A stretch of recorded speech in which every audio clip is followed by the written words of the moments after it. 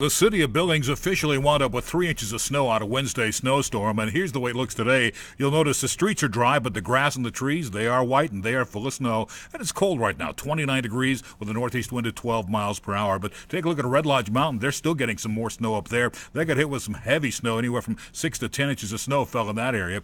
And as you'll see, the Doppler radar showing more snow is coming out of the Beartooth, heading north towards Billings area, so we could see some more spotty snow showers in here later on this afternoon. But in the meantime, let me show you you what's happening. We have another low pressure cell that's moving into Idaho, and by Friday morning, this is going to start slinging a lot of moisture into the southwest corner of the state. Some of it is going to make its way into the Billings area. Then by later on Friday afternoon, that whole system starts moving into the central part of Montana. But then on Saturday, by the morning, that low pressure cell starts dropping a little bit farther south, and it takes all that line of snow showers with it right through the Billings area throughout most of the day on Saturday. Then on Saturday night, that whole thing starts to kick out of the area. So how much more snow are we going to get out of it?